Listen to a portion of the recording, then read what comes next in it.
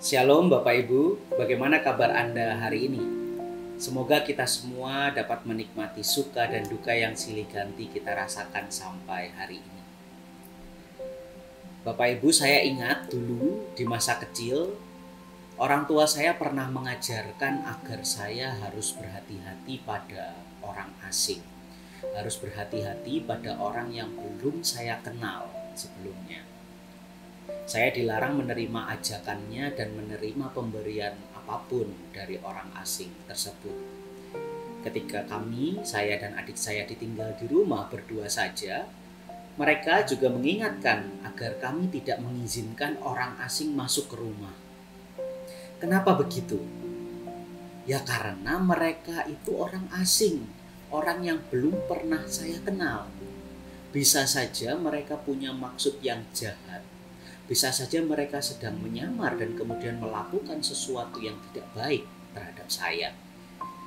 Nah, Bapak Ibu, bacaan kita hari ini diambil dari Kejadian pasal 18 ayat 1 sampai 8. Di sana diceritakan pengalaman Abraham yang ternyata juga pernah dikunjungi orang-orang asing Peristiwa kunjungan orang asing itu merupakan peristiwa penting bagi Abraham dan istrinya, karena melalui kehadiran tiga orang asing di cerita itu, Allah memberitahukan janji penyertaan Allah bagi Abraham dan istrinya, bahwa mereka akan dikaruniai anak. Nah, menariknya, Bapak Ibu, berbeda dari kisah masa kecil saya yang menolak kehadiran orang asing, Abraham ini justru menyambut ketiga orang asing yang hadir ke rumahnya dengan sangat luar biasa. Saya takjub banget dengan sikap Abraham yang sedemikian niat gitu ya melayani orang-orang asing. Di sana diceritakan dengan sigap Abraham mengambil air ya ketika orang asing itu datang dengan sigap Abraham mengambil air untuk membasuh kaki ketiga orang asing itu.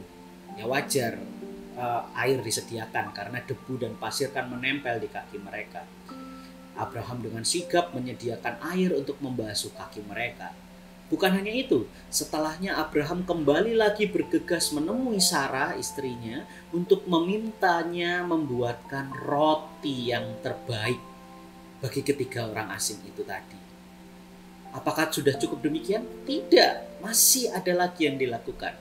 Abraham berlari ke belakang ke kandang lembu sapinya untuk memotong dan menjadikan daging lembu sapinya itu hidangan lezat bagi ketiga orang asing yang bertamu ke rumahnya. Abraham juga memberikan air susu lembu untuk dihidangkan sebagai penghilang dahaga bagi ketiga orang asing itu. Nah, Bapak Ibu, apa kira-kira yang bisa kita renungkan dari pengalaman Abraham ini? Bahwa kita bisa belajar Tuhan itu mampu hadir dalam bentuk apa pun, dalam wujud apa pun di kehidupan kita, termasuk Allah bisa hadir melalui dan di dalam diri orang asing yang ada di sekitar kita, yang kita temui di kehidupan kita sesehari. Saya tidak bermaksud mengajak kita semua untuk tidak berhati-hati, tidak waspada dengan orang-orang asing yang belum benar-benar kita kenal. Bukan begitu. Namun hari ini Bapak Ibu kita diajak untuk menyadari sekali lagi bahwa Allah itu mampu dan senantiasa bisa hadir dalam rupa apa pun Misalnya ketika kita sedang makan di suatu tempat tertentu, lantas ada orang asing dalam wujud pengamen menghampiri kita. Apakah kita melihat Allah di dalam pengamen itu?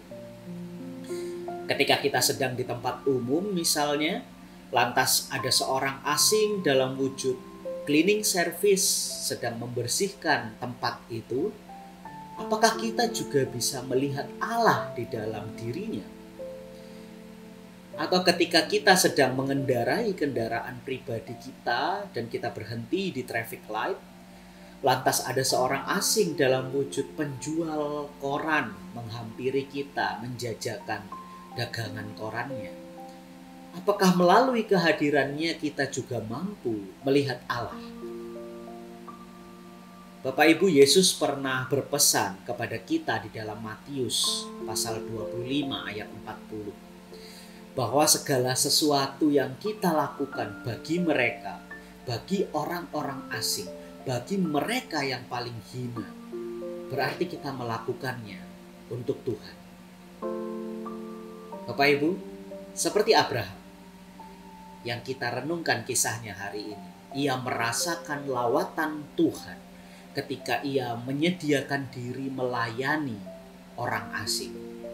Maukah kita pun juga memikirkan dan melakukan sesuatu bagi orang-orang asing yang kita temui di kehidupan kita, Bapak Ibu? Kiranya Tuhan memampukan kita sekalian. Mari berdoa.